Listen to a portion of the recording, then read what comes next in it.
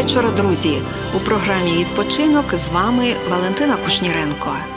Перлини світового мистецтва. Спільний літературно-музичний проект нашого радіо і Луганського обласного духовно-культурного центру Єдність. Планети говорять. Наша подорож ще незвіданими зоряними шляхами сонячної системи продовжується, і на нас чекає такий суперечливий, такий мало кому зрозумілий Сатурн. Сатурн, найвіддаленіша з видимих неозброєним оком планет, символізує рубіж, поділ між видимим і невидимим, між пізнаним і ще не пізнаним, між старою і новою епохою. Гігантська битва променів Урана і Сатурна у просторі це і є зміна епох, саме те, що переживає зараз людство. Сатурн неможливо сплутати ні з яким іншим світилом у сонячній системі. Його тьмяне біле світло створило планеті недобру славу, хоча відомо, що білий колір то є синтез усіх кольорів райдуги. Його загадкові кільця яскраво вирізняються і викликають чималий інтерес в дослідників. На даний момент відкрито 62 супутники Сатурна, і можна сказати, що це як самостійна система всередині сонячної системи. Існує думка, що планетні кільця то є ключ до розгадки таємниці створення сонячної системи. Англійський композитор Густав Холст у своїй симфонічній сюїті планети назвав його Стара епоха, адже Сатурн це Кронос, молодший з титанів, володар часу. Тож слухаймо його і, можливо, щось нове зрозуміємо у власному житті.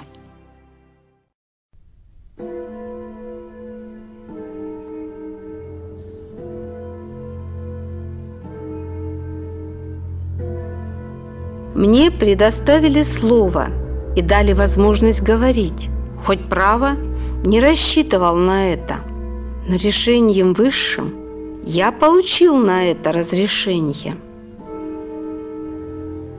Я в мире нашем почти изгой и заслужил такое отношение свирепостью своей и непримиримостью – уже известно кое-что вам обо мне от признаний моих родных.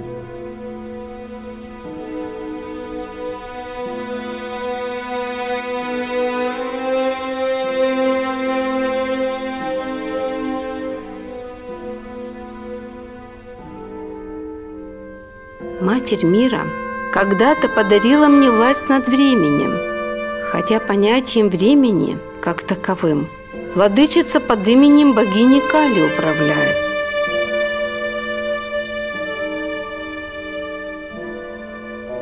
Я же власть свою имею над сферами, подверженными разрушению. Если брат или сестра развили мощь, чтобы сбросить оболочки эти, то власть утеряна моя над ними – и это неприятно мне.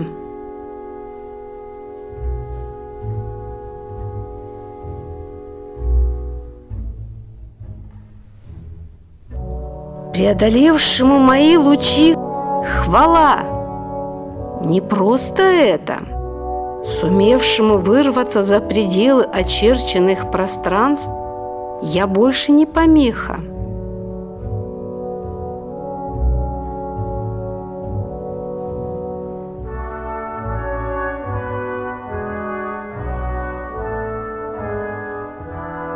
Те люди очень пунктуальны, дисциплинированы, и со временем у них в порядке все. Они там, где им нужно быть, и в сроки те, которые диктуют высшие собратья. Власть низшая не распространяется на них. Они ведомы прямыми планетными лучами, и я не смею закрутить их и заставить бежать по кругам своим, как очень многих заставляю.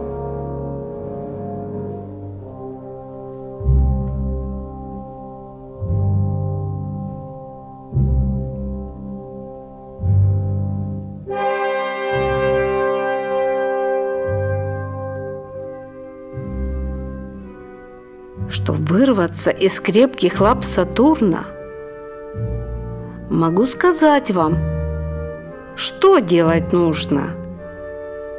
Путь один. Богиня времени вам может врата открыть. В молитвах к ней усердно обращаясь, взывайте, и она поможет вам придаст немного силы материнской. А вам достаточно, чтобы ускорение развить и устремиться из цепких лап Сатурна, из кругов порочных за периферию круга. Начните все сначала, но с опытом, огромным за плечами. Я еще не жил в себе те качества, что так мешают восходить.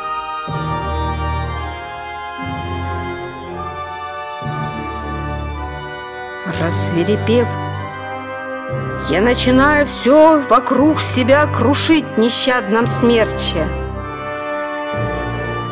Все ближайшие порожденные мной формы жизни. Я смел и люблю таких же, даже если приходится сразиться, зная, что проиграешь. Законы битвы чту я и не отступлю, коль срок назначен.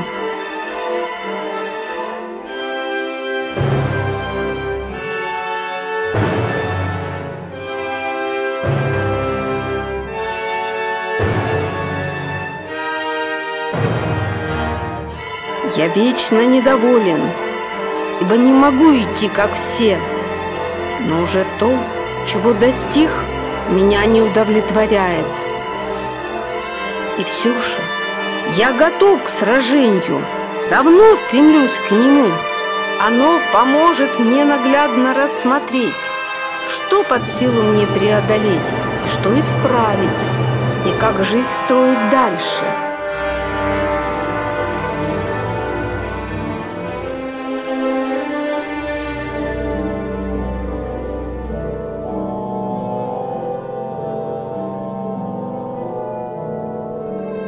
Мать мира ждет поступка, я знаю, я ее не подведу.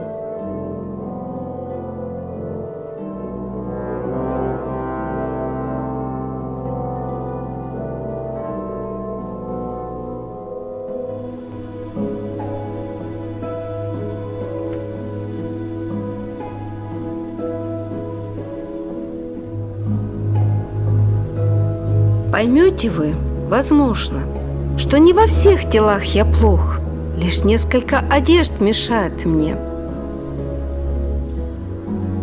Другие же настолько совершенны, насколько это представимо, и помогают матери по управлению пространствами, зависящими от времени. Там, в других пространствах, время другое. У него другие характеристики, и формы не такие, как здесь.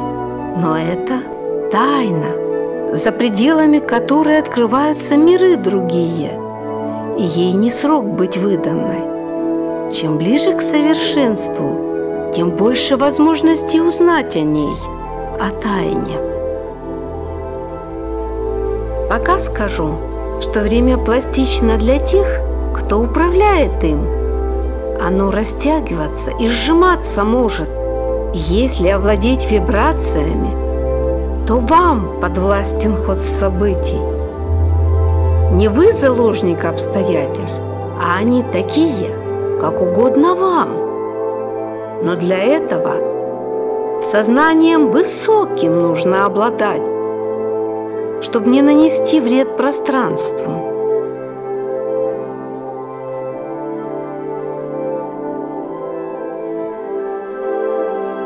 Мать мира контролирует их и ведет сама, подвергая испытаниям. И доверяя великую работу мироздания душам, подчинившим время, я благодарен, братья, вам за то, что вы даруете возможность разговора с человеком, которому я сам без передачи третьему лицу поведал о себе. Спасибо всем, но особый поклон владычице Вселенной – Що ж, наслідувати пораду щодо подолання впливу Сатурна можна, однак варто врахувати, що лише про нижчий вплив на людину йдеться, і можна розкиданість перетворити на єдність.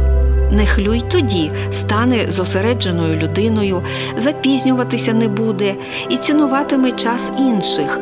Адже важливий не лише той, хто на тебе чекає, але й цінний час, який він через тебе втратив даремно. Не до кінця з'ясованим залишається і такий атмосферний феномен Сатурна, як велетенський гексагон. Він являє собою стійке утворення у вигляді правильного шестикутника з поперечником у 25 тисяч кілометрів. Воно оточує північний полюс планети. Цікаво, який же це знак подає Сатурн Всесвіту.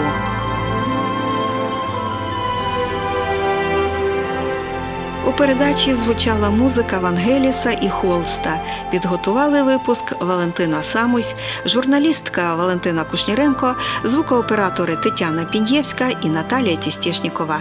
Бережи час, і він збереже тебе.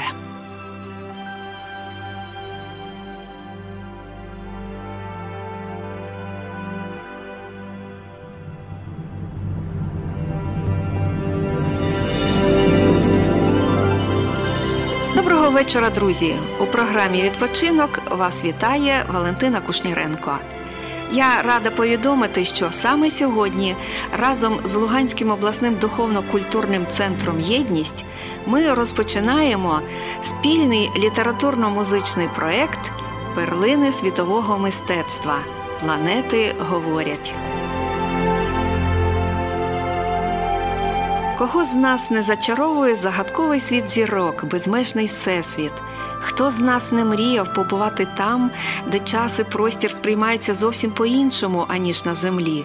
Ми запрошуємо вас у захопливу подорож ще незвіданими шляхами сонячної системи. А допоможе нам музика всесвітньо відомих композиторів Холста і Вангеліса.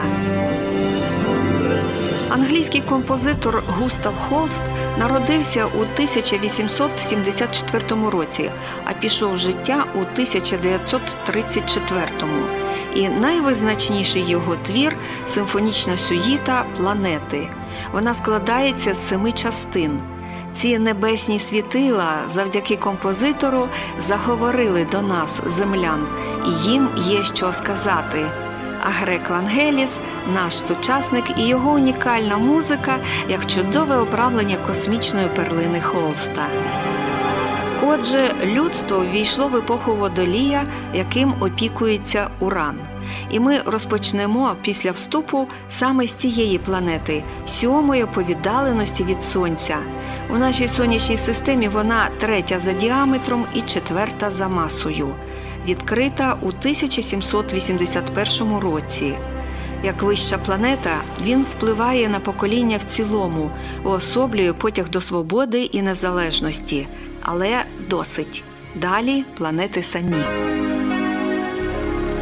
Планеты говорят, что вы не одиноки, и все планеты-боги помогают вам расти. Не бывает так, чтобы звезды не показали, что нужно им. Всегда намеком, вибрацией тончайшей, током любви мы привлекаем внимание ваше. Мы многое вам говорим, но, правда, нашим языком. Мы вас всегда предупреждаем, что ждет вас впереди и как себя вести. Мгновенно – реагирует звезда на чувства, посылаемые током организма, и охлаждает вас, и наоборот, сил придает, и мудрость звездную вливает. что говорить. Мы проходили все, что мучает и вас. Мы знания имеем о ваших трудностях не понаслышке, а потому, что сами только что с земли по меркам нашим говорим о сроках.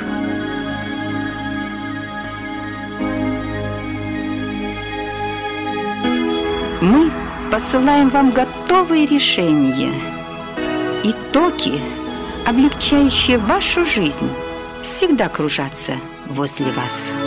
Но вы от них закрыты, как зонтиком от лучей палящих, или завесились плащом от ливневых потоков.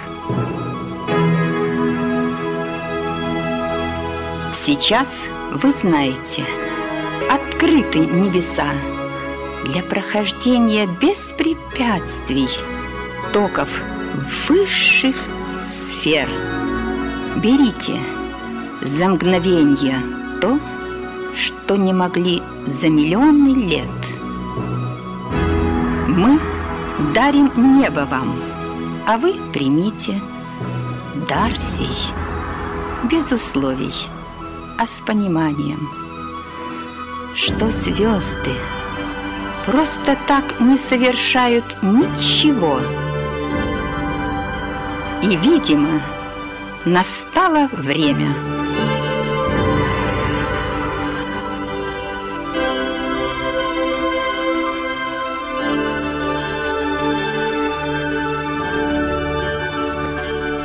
Ну что ж, готовы мы начать наш разговор.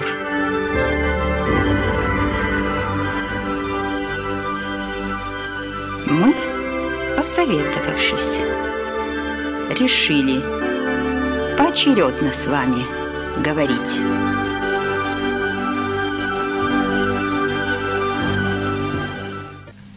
Сегодня я, Уран, вам возвестить готов немало истин.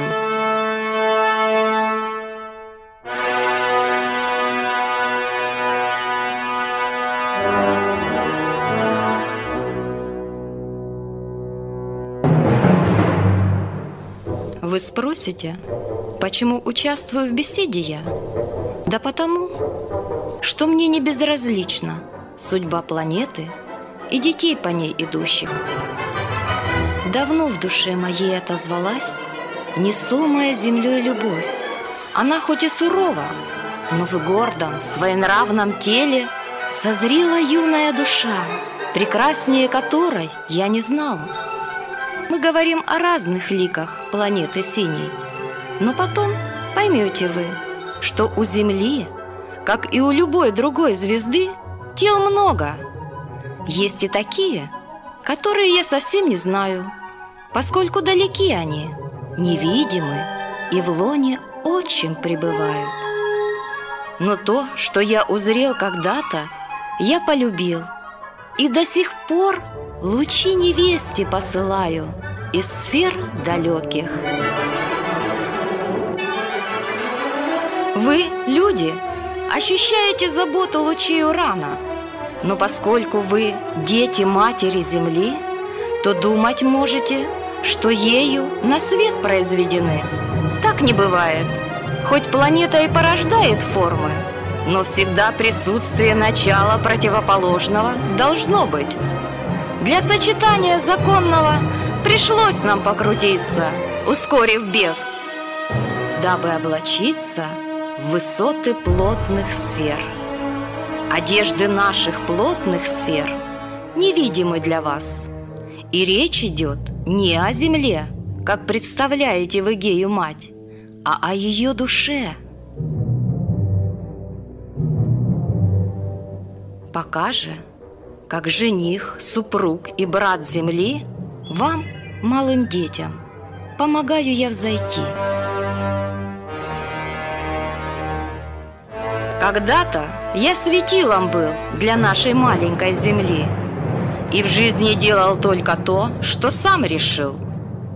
Не шел на сделки никогда и даже, будучи еще ребенком, скрестил лучи в сражении с братом старшим, Сатурном, ибо он уже тогда владел бесценным даром матери, вселенной времени. Хоть им и создавались законы временных пространств, он ими правил неумело, не потому, что был не в состоянии, а потому, что в нем превозмогли власть, жажда славы и почестей.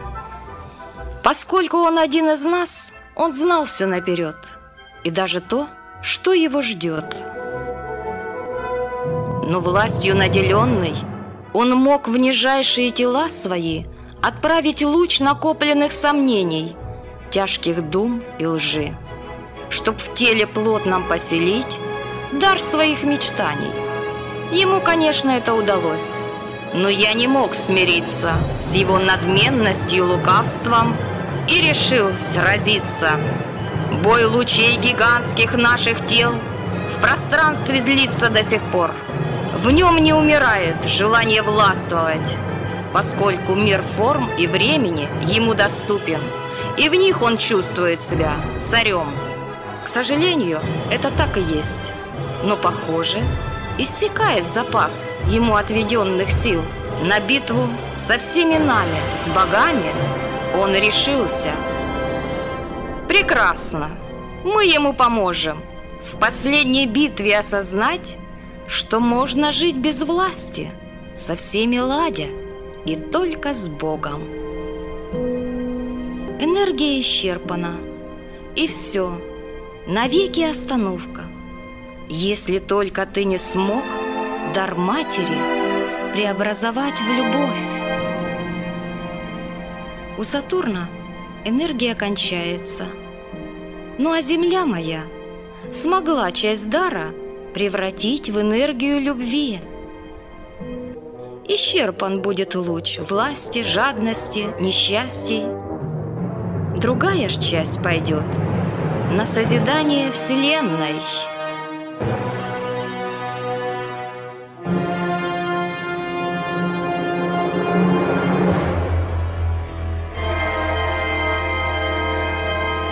Потому Земля сейчас находится в двояком положении. Еще не кончилось владычество Сатурна, но считайте его уж нет. А свои силы Земля еще не может дать сполна. Ей в том мешает Кронос.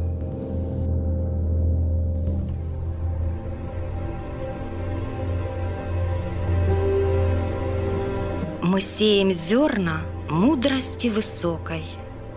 Когда-то прорастут и эти всходи. Уран магічний, так влучно назвав його композитор Холст. Уран символізує оригінальність, унікальність, індивідуальність, свободу від умовностей, а також несподіваність і раптовість. Це шлях перетворень, оригінальний безконфліктний вихід з кризи. Він покровитель нової епохи водолія, несе людству коштовний дар, самовіддану любов. У передачі взяли участь Еленора Зубовська та Любов Подгородецька. Підготували випуск журналістка Валентина Кушніренко, звукооператори Тетяна Пін'євська і Наталія Тістєшнікова. На все вам добре, друзі!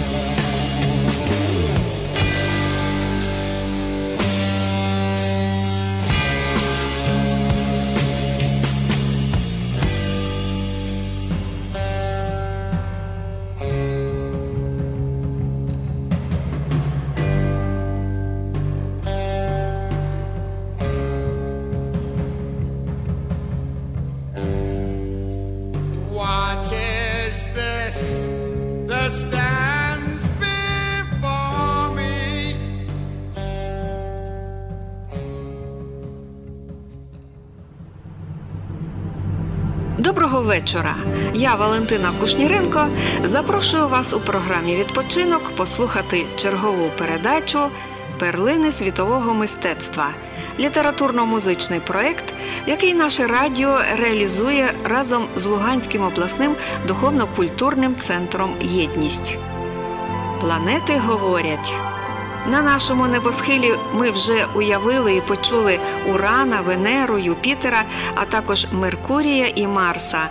Сьогодні на перший план виходить Плутон, той, що пильнує окраїни. Певно, найбільш таємнича і найменш вивчена планета Плутон. Пошуком її активно займався американський астроном Персиваль Ловел і розрахував приблизне її положення на небі.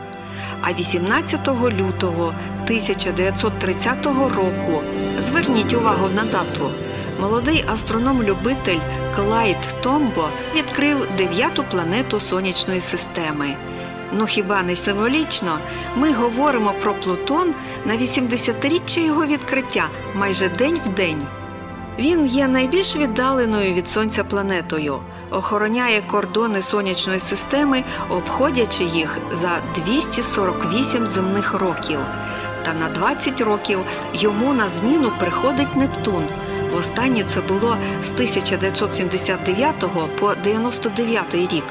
А Плутон тоді ніби зазирнув усередину сонячної системи, що спричинило великі зрушення у свідомості людства.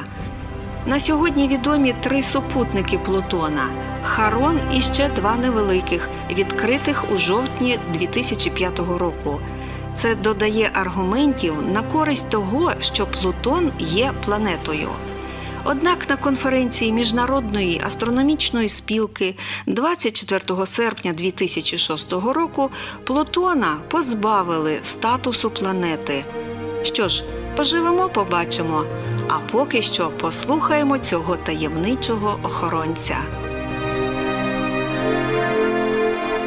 Готов ли ты поговорить с Плутоном? Особого внимания потребует сей разговор, ибо я долго был в тени, да и сейчас стараюсь не выделяться и оставаться за телами моих сестер и братьев.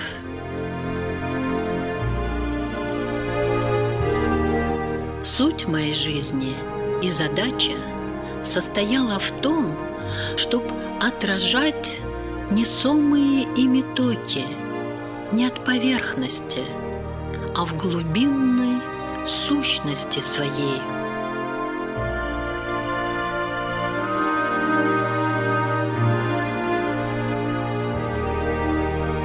Что это значит?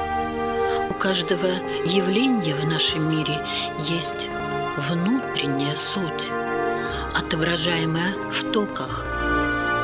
Но мир наш еще не совершенен, ибо если бы он был таким, мы были бы единым. А пока мы до него идем, то в токах наших не достает чуть-чуть, чтоб изменило б нас до абсолютного божественного сознания. Мы хоть и едины в высших телах, но в тех, в которых нам приходится общаться до абсолюта, не дотягиваем.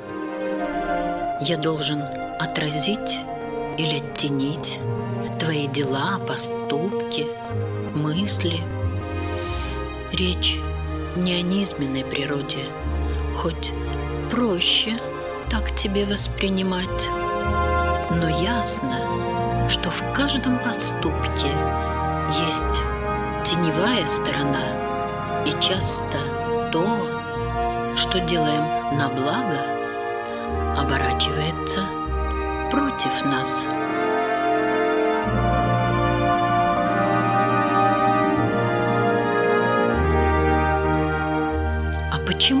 Происходит?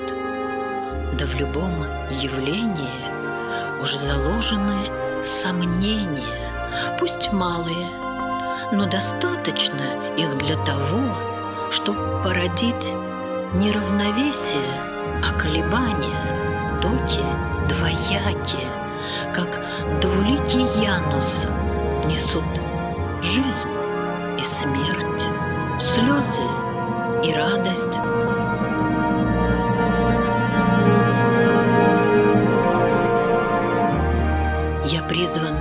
Матерью решать, как страсть превратить в любовь, ярость в геройство, грех в благодатные деяния твоей души.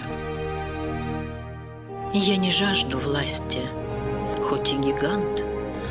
Власть и так принадлежит мне, ибо в нашей солнечной системе нет никого, кто мог бы так мудро управлять мирами, порученными мне богами.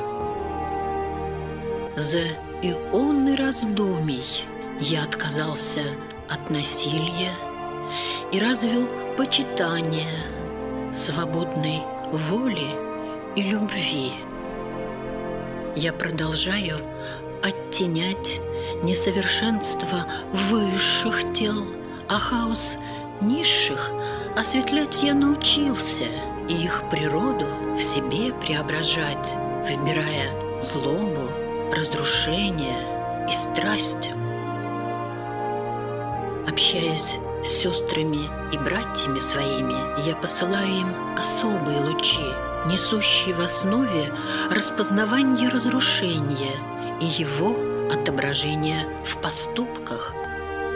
Потому, кто захотел разрушить мир, не зная, что разрушать возможно, созидая, тот, получив вибрации Плутона, отравится или будет осужден законом. Я помогу любому сразиться с самим собой, но должен обратиться он к Плутону и попросить защиты, силы, чтоб Бог помог разрушить узы, связывающие его.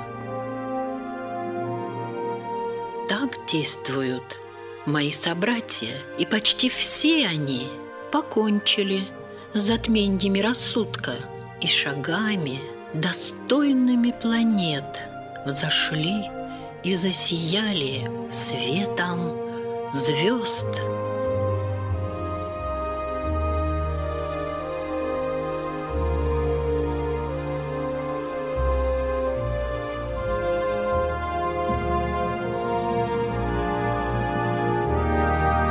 Как странно чтили вы меня, естественно. Аид господствует над недрами земли, но не нужно было жертв. О Боже, храни меня от почестей таких. Под недрами земли поймите вы глубинные мотивы и стремления собственной души.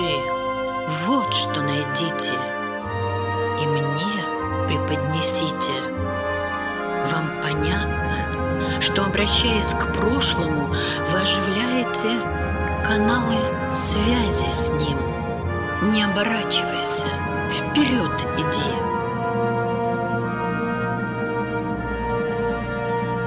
Вот и подходит наш разговор к концу. Да, я Плутон, богат тем, что вызываю к жизни богатство и сокровища души, упрятанные вами в недра. Я заставляю вращаться весь кристалл души и оживляю человека. Звісно, імена даються новим планетам не випадкові. Імена грецьких богів присвоюються планетам у повній відповідності із властивостями їхніх вогненних променів. Стародавні вчені були ясновидцями. Вони знали про існування Урана і Нептуна, і Плутона, і багатьох інших планет, ще не відкритих людством.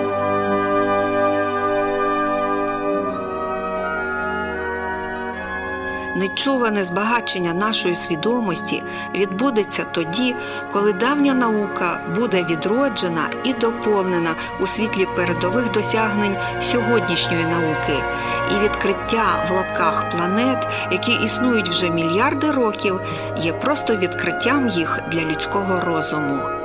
Це відбувається лише тоді, коли люди вже здатні сприймати випромінювання даної планети. Плутон, грецькою той, що дає багатства, володар усіх людських душ і скарбів, прихованих у землі, тобто у підсвідомості. Він, як дволикий Янус, планета підземного вогню і динамічної енергії, неймовірної сили. І те, який вплив його промені справлятимуть на людину, цілком залежить від її свідомості та прагнень. Ця енергія може або піднести людину високо, або звергнути у безодню. Та варто при цьому пам'ятати, що кожен з нас несе в собі вогонь єдиний, незмінний для усього Всесвіту. У передачі звучала музика Вангеліса, Елгара і Вагнера. Підготували випуск Галина Юрова, журналістка Валентина Кушніренко, звукооператори Тетяна Пінєвська і Наталія Тістєшнікова. На все вам добре.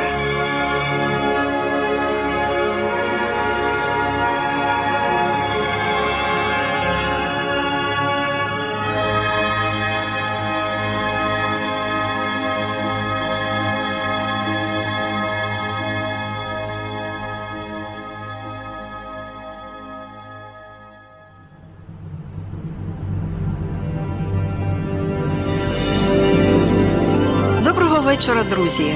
У програмі Відпочинок вас радо вітає Валентина Кушніренко. Перлини світового мистецтва літературно-музичний проект, який ми реалізуємо разом з Луганським обласним духовно-культурним центром Єдність. Планети говорять. Ми вже чули магічного Урана і прекрасну Венеру. Сьогодні черга Юпітера життєрадісного. Юпітер найбільша планета сонячної системи, планета гігант. Велично і граціозно рухається по сузір'ях зодіаку Цар Небес, і на один оберт навколо Сонця він витрачає 12 земних років.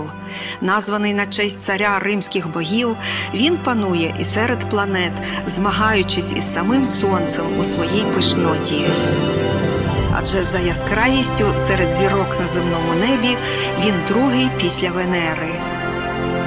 Вчені називають його газовим гігантом, оскільки на 89% він складається з водню, а на 11% з гелію, нагадуючи за хімічним складом сонце. Маючи потужну магнітосферу, він притягнув вже 39 супутників. У давній Греції його називали Зевсом, батьком богів, повелителем грому й блискавок. Його атрибутами були трон, блискавка, корона. Зевс космічний наповнює простір озоном, очищуючи землю від сміття низьких думок. А на сході цю планету називали Брихаспаті, духовний гуру, тобто вчитель. І перед тим як надати слово самому Юпітеру і поринути у музику англійського композитора Густава Холста, додам, що це планета синтезу. Сегодня говорю вам я, Юпитер, царь неба, но не солнечной системы. Когда-нибудь и я взойду как солнце, когда сын Гелиос отправится в другие сферы.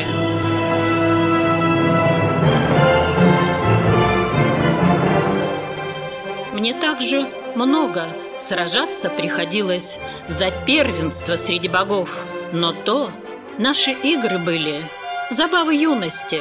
Теперь мы знаем, что сражением не решить проблем, возникших в сферах твоих глубин, о человек.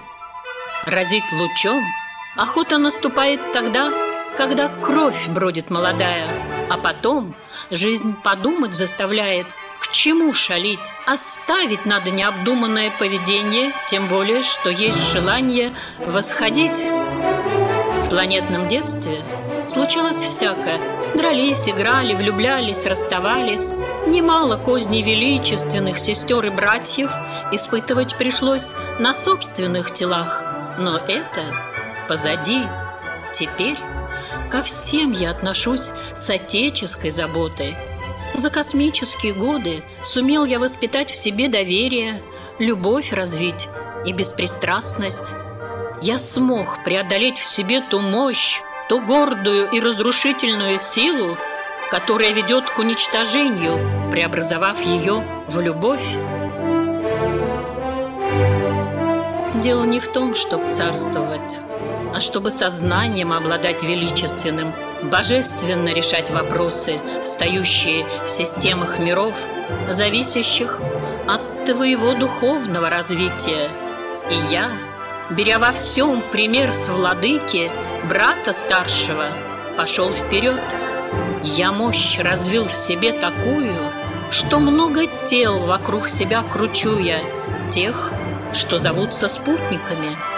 Они приблизились ко мне необычайно, и, возможно, что несколько приму, втянув в себя. Соединение спутников с огромным материнским телом – невиданное зрелище. Но, уверяю вас, когда-то люди увидят фейерверк на небесах и почувствуют, как мощь растет планеты, столь близкой к Солнцу и к Земле. С Землей меня роднит взаимное согласие по поводу того, что силой не решается ничто. Ее суровость, но одновременная мягкость пленяют сердце Царя Небес. Я часто защищаю сестру родную от напасти, грозящих ей, и закрываю своим мощнейшим телом от попаданий лучей, которых ей не вынести.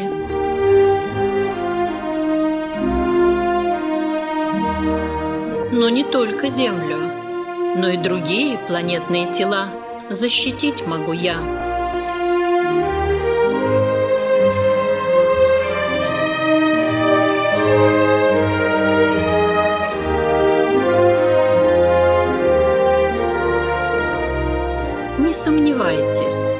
Что Юпитер на стражу встанет и всегда прикроет вас, когда к нему вы обратитесь.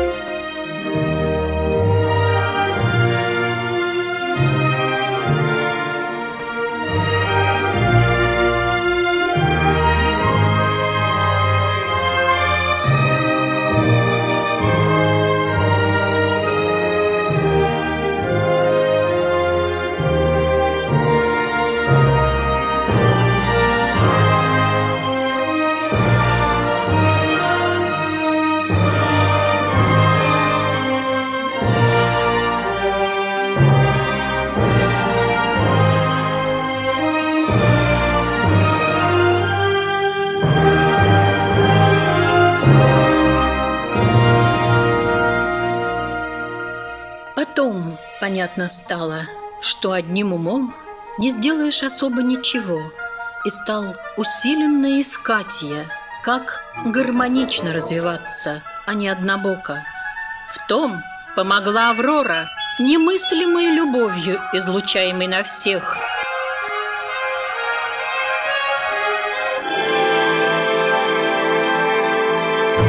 Я взял с нее пример и не только не пожалел, но утверждаю, что путь единственный мне указала, чтоб стать царем.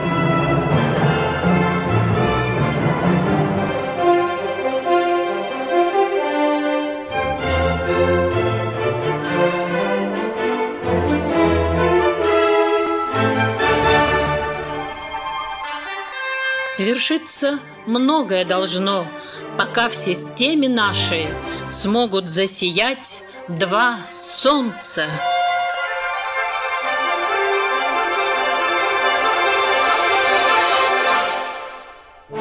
Те, на кого лучи Юпитера влияют, дети Зевса, могуществом наделены.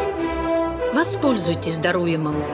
Внимательно вы отследите, почему вибрации мои вам так близки.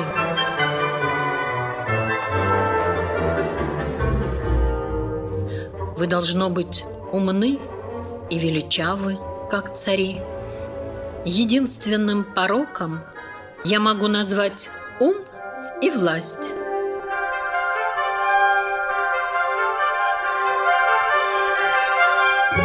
Но если я преодолел в себе и послужить себе заставил, что мне мешало, так и вам под силу воспринять опыт мой и преодолеть растущие внутри желания.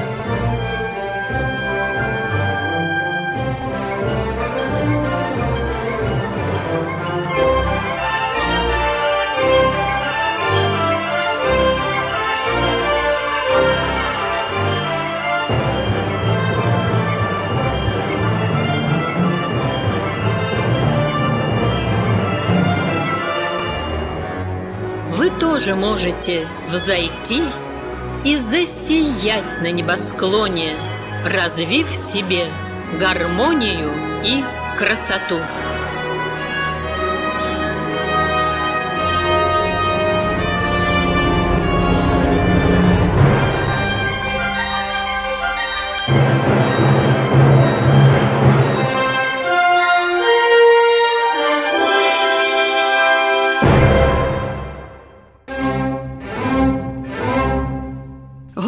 Завдання Юпітера поєднати людину з потоком божественної милості, відкрити їй шлях до блага внутрішнього. Тому він допомагає нам подолати егоїзм особистості, стаючи тим самим точкою опори для підняття нашого розуму до доброчесної мудрості через знання і красу.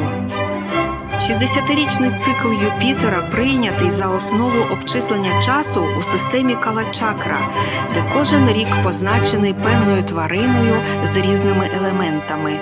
От 2010, приміром, це рік залізного тигра. Тут п'ятикратне повторення 12 років, тобто 12 тварин і 5 елементів.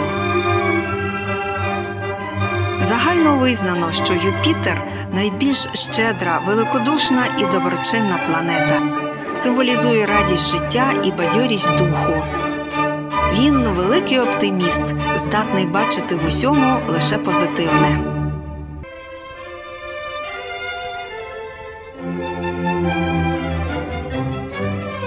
Він визначає зростання внутрішнє, на шляху до якого ми досягаємо істинної самореалізації.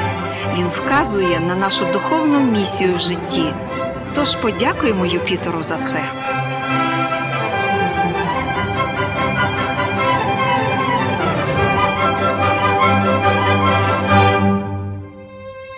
У передачі прозвучала музика Вангеліса, Холста, Моцарта. Над випуском працювали Галина Юрова, журналістка Валентина Кушніренко, звукооператори Тетяна Пін'євська і Наталія Тістєшнікова. На все вам добре.